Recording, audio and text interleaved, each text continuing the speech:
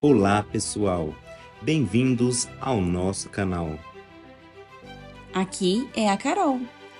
E aqui é o Vitor. Vem acompanhar essa aventura de quatro dias no deserto do Atacama com a gente. Uma paisagem incrível, de beleza exuberante e clima extremo. Um lugar que você precisa conhecer. Vem, com a gente.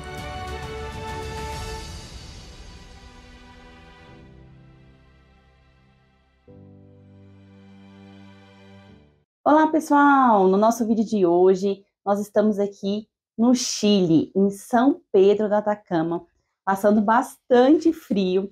E hoje nós vamos filmar para vocês o passeio astronômico. É um dos passeios mais esperados que a gente vai para um lugar bem aberto para a gente poder ter todo aquele contato com o céu maravilhoso. É, promete a gente ver um telescópio, fotos. E para este passeio, a gente está aqui nessa época em junho, então a temperatura agora na cidade está em 10 graus, mas a tendência ela está indo baixando e vai chegar até uns 4.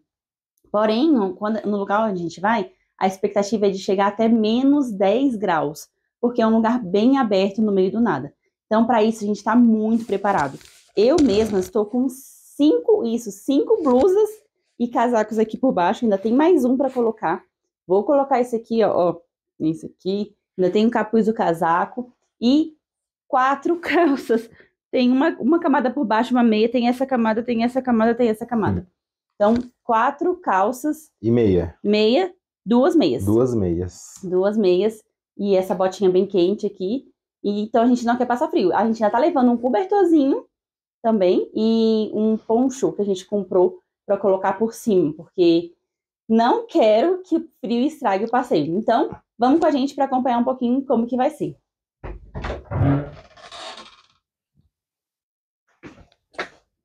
E o legal é que o tour vem pegar a gente na, na pousada. Então a gente está aqui na recepção da pousada esperando a van chegar. Não. É aquela, tá é aquela expectativa de que a gente acha que é a van que vem buscar a gente, mas não é. Acontece. Opa, talvez seja, ela tá voltando de ré. Olá! Bruno? Vitor Carolina? Sim, aham. Com vocês? Sim. Então, entrem e coloquem o cinto de segurança, por favor, tá? Hum? Boa noite.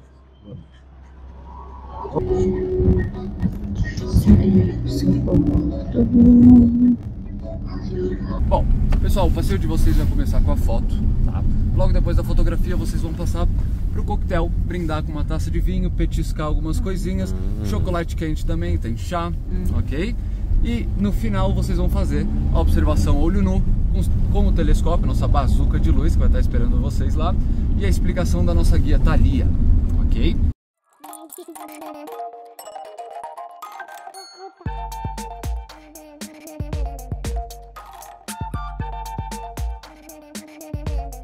Bom, agora estamos indo pro local para tirar foto. Vocês não estão enxergando nada, mas a Carol tá aqui na frente. Só dá para ver as lanterninhas. E infelizmente o, a câmera não consegue pegar, né, o céu, mas tá muito estrelado. Vocês vão ver aí. Vou ligar a luz aqui. aqui. Essa aqui é a Carol. Pra quem não reconheceu.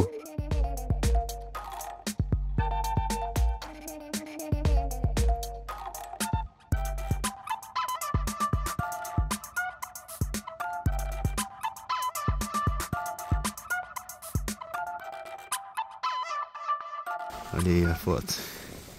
E essa aqui é a outra. Bom demais. Show? Show.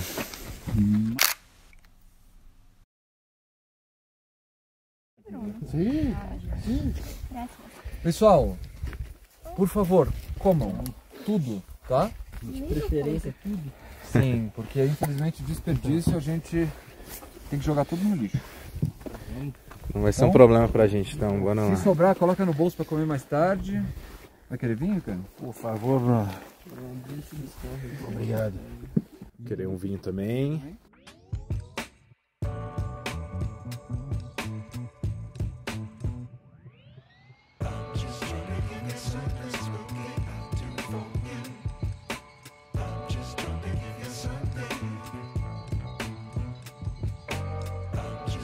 Oi, pessoal. Acabou que ontem nós não gravamos o finalzinho para vocês aí do nosso tour astronômico por condições climáticas. Estava muito escuro, não deu para filmar muita coisa.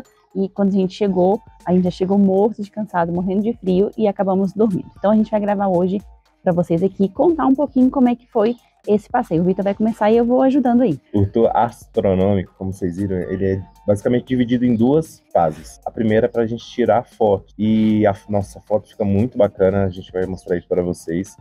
E são do, dois tipos de fotos, uma mais longe e uma de perto e de frente. Super tranquilo, demorou o quê? Uns, uns 20 minutos, né? É, o fotógrafo deixou a gente olhar fotos, se não gostar, repetir. Repetir. O, o, nosso grupo tinha umas 11 pessoas, então depende também da quantidade de pessoas no grupo. Nessa fase, o frio estava até mais tranquilo. E depois a gente teve esse jantar aí, né? Com vinho, chocolate quente. Uma delícia umas castanhas, biscoito. Foi super legal. Ficamos aí mais uns 15 minutos, mais bastante tempo. Uhum. E por último, a gente foi ver no telescópio. Aí sim o frio começou a apertar. Então uhum. a noite vai avançando, ali já, já era mais ou menos umas 9 para 10 horas. A, aí o frio realmente começou a, a pegar. Tanto é que a instrutora que estava falando sobre os astros, ela falou que na noite anterior à nossa, só três pessoas ficaram até o final. Aguentaram lá. É. Ontem até que bastante gente aguentou. Na verdade, eu falei que foram três pessoas que desistiram no finalzinho. Eu fui uma delas, porque apesar de eu estar com muitas camadas de roupa, como vocês viram aí, os meus dedos do pé estavam congelando, estava impossível, assim, eu já não estava nem conseguindo ouvir mais a explicação. Então, mais no finalzinho eu desisti e fui para van, mas o Vitor aguentou lá firme e forte. Importante destacar que vocês devem escolher muito bem o dia do passeio, pois se estiver com lua, pode atrapalhar a visualização do céu estrelado. Outro ponto é ver com a agência de turismo qual a programação para o passeio e qual tipo de telescópio será utilizado. No nosso era um muito bom, enorme, quase do tamanho de uma pessoa. E aí, o que, foi que ela falou, amor? Faz muitas explicações, né, da, das estrelas, das constelações, da cultura local aqui também. Ela falou que há 50 anos atrás, aqui não tinha energia elétrica, então, tipo, tudo se baseava pelas estrelas e tal, é uma explicação muito interessante. É, agora, o importante é realmente parte da, do, do, casaco, calças, usar várias calças, porque senão realmente pode estragar a experiência. O bom é que a van fica do lado, é, se precisar, tiver com frio, é só ir pra van, vai perder um pouquinho da experiência, né? Mas depois dá pra voltar. É, é um passeio que ele é feito em todas as épocas do ano. Nós estamos em junho de 2023, então no iníciozinho do inverno, ela explicou que a melhor época realmente para ver o céu é no inverno, mas em compensação é a época mais fria. Em outras épocas também se faz esse passeio, mas as, os astros e as estrelas não estão tão bonitas e aparecendo tanto quanto agora no inverno. Então, se você vê em outra época, também vai dar para fazer e talvez você não passe tanto frio assim, né? E se vocês gostaram desse vídeo, não esqueçam de se inscrever no nosso canal, deixar o like, comentários e compartilhar com os amigos. Espero que vocês venham conhecer aqui também este lugar maravilhoso.